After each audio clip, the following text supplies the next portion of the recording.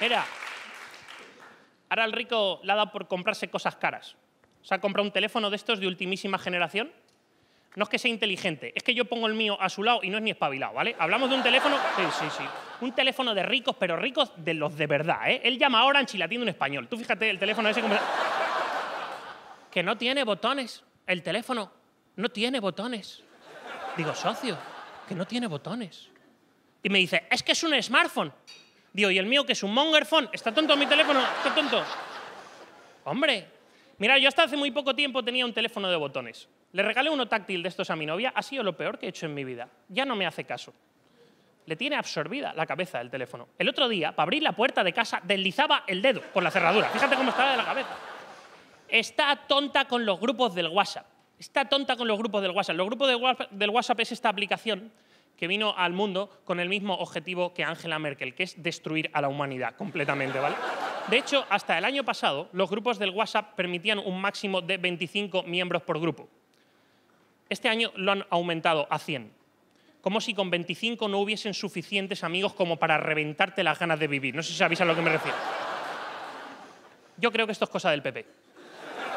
Esto es cosa del PP. Y no me gustaría que me encasillaseis en ningún partido político, porque yo de política no entiendo. De hecho, de pequeño me pensaba que para ser de Izquierda Unida tenías que ser zurdo. o sea, tengo... Sí, sí, sí, No, y oye, y también tengo amigos del PP, lo digo públicamente, también tengo amigos del PP. No todo va a ser gente honrada. Mira, de hecho, el, el caso... Sí, sí.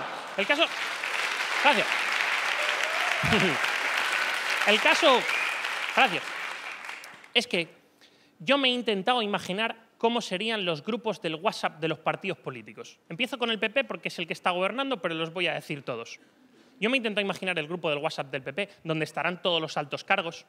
Por ejemplo, estará el de Guindos, conocemos a de Guindos, el de, el de Economía, el del pelo color carne, ¿sabéis a qué me refiero? Pues, este tío siempre está en Bruselas, siempre está en Bruselas. Yo pongo la tele, siempre está en Bruselas. Pues el de Guindos tendrá que informar desde Bruselas a España y mandará los vídeos por el grupo desde Bruselas a España. Y la Ana Botella pondrá, mándalos subtitulados, porque no sé si sabéis que... No, no, no. Ana Botella estudió idiomas con Rita Barberá, ¿vale? Entre las dos hicieron el avatar. De hecho, Rita Barberá, Rita Barberá se hizo famosa por el tema del caloret se hizo famosa por el tema del calor. Esto, yo que vengo de Valencia, lo quiero explicar. Rita Barberá, en el evento más importante de la comunidad valenciana, se ve que se le fue la mano con el vino de honor y salió diciendo que disfrutéis del caloret de las fallas. Lo que quiso decir en castellano sería que disfrutéis del calor de las fallas. Bueno, pues estuvo siete días seguidos lloviendo. Siete días seguidos lloviendo. ¿Entiendes? Hubieron fallas que se quemaron la semana de después. Digo, se ha vengado la madre naturaleza se ha vengado. No ha tenido bastante con hacerla medio hombre, medio mujer, que se ha tenido que volver a vengar. Claro que sí. ¡Hombre!